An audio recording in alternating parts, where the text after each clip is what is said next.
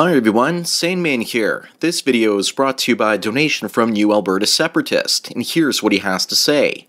Hello from Calgary, Alberta. I stumbled upon your channel after researching MGTOW, and I'm intrigued by the movement. In particular, I notice how often you speak from a Canadian perspective, although your experiences seem very Toronto-centric.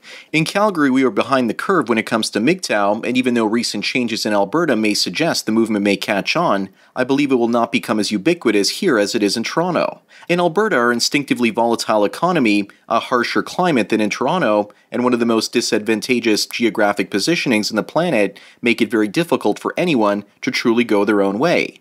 Alberta has always been and will always be a masculine province, and that has created a culture more conducive towards traditional male female relationships. That said, I believe the implications of MGTOW, particularly the destructive nature of third wave feminism, may have some indirect consequence that could lead to the breakup of Canada as a nation. Canadian unity since the Quebecois separatist referendum of 1995 has been maintained by two industries Ontario manufacturing and Alberta oil sands. Both industries generated the excess capital capable of paying for the social welfare programs that placate the Quebecois, effectively killing the Quebec separatist movement. Unfortunately, under the progressive feminist government of Kathleen Wynne, Ontario's economy has been so badly mismanaged that its manufacturing industry could not keep paying into the equalization system. Ontario is now a have not recipient of federal welfare, not a payer into it. This means that the burden of paying for Canadian unity lies squarely on the shoulders of the Alberta oil sands, an industry I have heard progressive, feminists, environmentalists describe as the epitome of toxic masculinity. In Alberta, our current premier, Rachel Notley, was by and large elected by freeloading progressives from across Canada, moving into the province looking for easy money during the height of our oil sands boom. Notley fluked her way into office as the oil boom ended, and she has since adopted the same feminist social and economic policy as Ontario's Kathleen Wynne, much to the approval of our feminist Prime Minister, Justin Trudeau. It is quite evident that Rachel Notley will do to the Alberta oil sands what Kathleen Wynne has done to Ontario manufacturing bring it to its knees. With the two drivers of the Canadian economy in ruins, who will pay for the equalization payments and keep the Quebecois separatists in check? Simultaneously, the Trudeau government will likely double on equalization to extract as much wealth from Alberta as it can in the face of mass aging crises in both Ontario and Quebec. When he does, that will further exacerbate the economic stagnation in Alberta and reignite the long standing Western separatist movement as well that the federal Conservative Party tapped into as its power base. Whether it's Quebec or Alberta, Canada is facing a serious existential threat almost perfectly coinciding with the takeover by progressive, third wave feminists of the federal government and the governments of the only two provinces that have the actual financial resources to hold Canada together. I wrote on my blog describing why the end of Canada is inevitable, and I'm curious and I want to hear your thoughts on this particular matter. Thanks. Well, New Alberta Separatist, thanks for the donation as well as the topic request. I put a link to your blog in the first link in the description. You ask who will be paying to keep Quebec separatists in check when the government finally can't afford to send Quebec its welfare check each and every single month. For all the Americans and other outsiders listening, Quebec is the French speaking province that requires a bribe from the Canadian government constantly, or it's going to basically threaten to go its own way. So, how will Canada keep Quebec? Why, with debt creation, of course. They will simply print or borrow more money and hand it over to the francophones in Quebec to bribe them into staying. They will kick the can down the road until the country goes bankrupt. With regards to manufacturing, it has been declining for a really long time in Ontario. Just look at places like Windsor, St. Catharines, and Niagara Falls. But this was happening a long time before Kathleen Wynne, our lesbian feminist overlord, was around. She's also now taxing the province to death with carbon taxes, selling off our electricity system to private companies, and doing all kinds of other things. Our Prime Minister Justin Trudeau, or Skippy, as Bernard Chapin likes to call him, is trying to get a national carbon tax going. You're right, New Alberta separatists, that Ontario became a have not province, but it's in better shape than Alberta because of our fire sector. FIRE stands for finance, insurance, and real estate.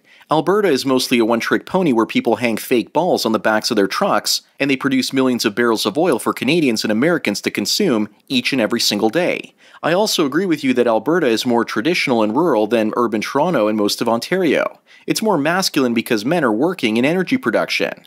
I also don't think it's that hard for men to go their own way in Alberta, especially considering the higher salaries they have for the last 10 to 15 years. But men in Alberta with simple blue collar jobs in the energy patch driving around trucks have had it very easy and have been able to support families doing what they're doing.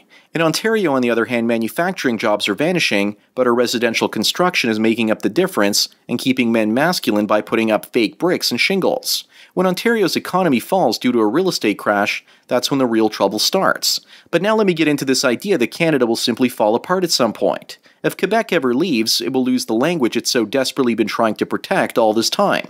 If the rest of Canada no longer has Quebec in it, then Canada will drop French as an official language, and suddenly people in Quebec will have to do business with the rest of the world, and specifically North America, using primarily English. There goes their language and culture that they sought so hard to protect. If I were in charge, I would give them autonomy but not independence. I also wouldn't be against the rest of Canada joining the United States if Quebec ever separates. Our cultures are very similar, but I don't think that's going to happen. Traveling from the United States to Canada and back is really easy, and there's usually very little border checks, and culturally both countries are very similar. With regards to Canadian women, the ones that are mostly traditional come from most of Quebec and Alberta and the other provinces except for Ontario. In Ontario, the feminists rule this place, and a lot of it has to do with the government giving women a lot of affirmative action jobs. Ontario has the national capital, Ottawa, and there are also huge numbers of women employed there as well. Then Toronto is the provincial capital, and women here get tons of government jobs here as well. Men are certainly less employed in Ontario thanks to the demise of the manufacturing sector. And as a result, women here often have higher salaries than men do. Just go on Tinder in Toronto and you'll see that many of the women here are working as professors, teachers, and other government jobs. And yet they still can't seem to find a man that makes more money than they do, usually over $100,000 a year at these types of jobs. With regards to our illustrious leader, Kathleen Wynne, just to show what a terrible human being she is, I put a link to an article called The Heartbreaking Sex Ed Premier Wynne Gave to Her Own Children, where the author discusses how Kathleen Wynne left her husband of 13 years and caused chaos in the lives of their three kids when she started a homosexual relationship with her partner, Jane Rounthwaite. Here's a quote from a book that discussed what happened between her and her best friend, Jane, and I quote It was during a group therapy organized by Wynne that she finally realized she had feelings for a woman in the group who she had a crush on. It was during a weekend getaway with her best friend Jane Rounthwaite to examine a cottage the family wanted to purchase that Wynne began a homosexual affair, breaking her marriage vow to Phil. After the weekend at the cottage, she moved in with this woman, while her husband moved down to the basement. To the adults, this made sense, the author writes, but the three little children whose lives were being turned upside down, it didn't. The children were confused by this new arrangement and quickly became miserable. Jesse, who was nine, and Christopher, who was 11, were livid. Maggie, who was just six years old, remembers feeling sad. They were not happy. The world as they knew it had changed forever, and it happened quickly. Almost in the same breath, the children learned that their parents were splitting up and that their mother had a new partner, a woman, the author writes. The transition especially affected the eldest, Christopher. In the midst of the family experiment, Christopher began questioning his own sexuality, eventually declaring that he was gay when he went to university. Christopher now sees that his parents' experiment made him insecure in his own sexuality. He hated telling people about his family and despised his dad for not being a strong man. To expose how our family was different also made me think about how I was actually different from my friends, he said.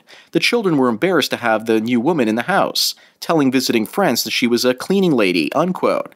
So there you have it, folks. Now you know the type of person that's running the province of Ontario. And the worst part is people actually voted her in.